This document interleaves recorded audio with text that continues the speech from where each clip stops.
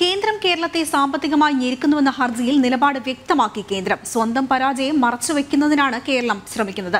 കേരളം ഒഴികെയുള്ള മറ്റ് സംസ്ഥാനങ്ങൾക്ക് പ്രശ്നമില്ലെന്നും അറ്റോർണി ജനറൽ ഹർജി പരിഗണിക്കേണ്ട അടിയന്തര സാഹചര്യമില്ലെന്നും കേന്ദ്രം വ്യക്തമാക്കി. വിവരങ്ങളുമായി എസ് നന്ദഗോപൻ ചേരുന്നുണ്ട്. നന്ദഗോപൻ കൂടുതൽ വിശദാംശങ്ങൾ.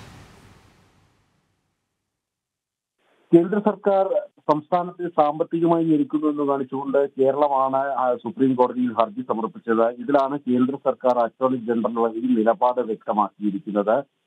കേരളത്തിന്റെ ആരോപണങ്ങൾ അത് അടിസ്ഥാനരഹിതമാണ്. കേരളം ഒഴികെയുള്ള മറ്റ് എല്ലാ സംസ്ഥാനങ്ങൾക്കും അല്ലെങ്കിൽ എല്ലാ സംസ്ഥാനങ്ങൾക്കും അർഹമായ പരിഗണന നൽകുന്നുണ്ട്.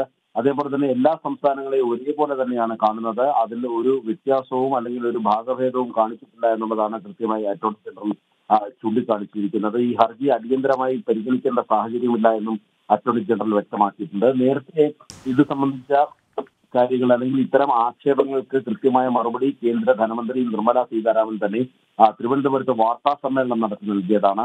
അതായത് കേന്ദ്രം കേരളത്തിന് അർഹമായ എല്ലാ വിധവും കൃത്യമായി നൽകുന്നുണ്ടെന്നും വിധവ പെൻഷൻ അതേപോലെ തന്നെ വാർദ്ധക്യ പെൻഷൻ അടക്കമുള്ള കാര്യങ്ങൾ നൽകുന്നില്ല എന്നുള്ള അല്ലെങ്കിൽ അതിന്റെ വിഹിതം നൽകുന്നില്ല എന്നുള്ള സംസ്ഥാന സർക്കാരിന്റെ പ്രചരണം അത് അടിസ്ഥാന രഹിതമാണെന്നും ആ, കൃത്യമായി തന്നെ നിർമ്മലാ സീതാരാമൻ ചൂണ്ടിക്കാണിച്ചതാണ്. മാത്രമല്ല ഈ പദ്ധതി വിഹിതത്തിനായി നൽകുന്ന പണം സംസ്ഥാനം വകമാറ്റി ചെലവഴിക്കുന്ന സ്ഥിതിവിശേഷം. ഒപ്പം തന്നെ ചെലവഴിച്ച പണത്തിന്റെ കണക്കുകൾ ഇതുവരെയായിട്ടും അറ്റോർണി ഇതുവരെയായിട്ടും നൽകിയിട്ടില്ല എന്നുള്ളതാണ്.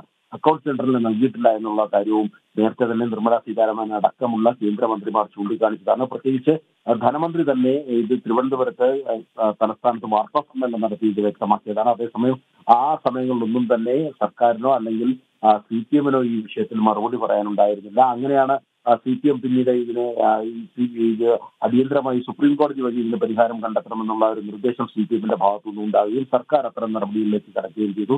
കോടതിയിൽ ഇത് ഹർജിയായി കേരളം സമർപ്പിച്ചു. അങ്ങനെയാണ് ആ ഹർജിയിലാണ് ഇപ്പോൾ അറ്റോർണി ജനറൽ നിലപാട് വ്യക്തമാക്കിയിരിക്കുന്നത്.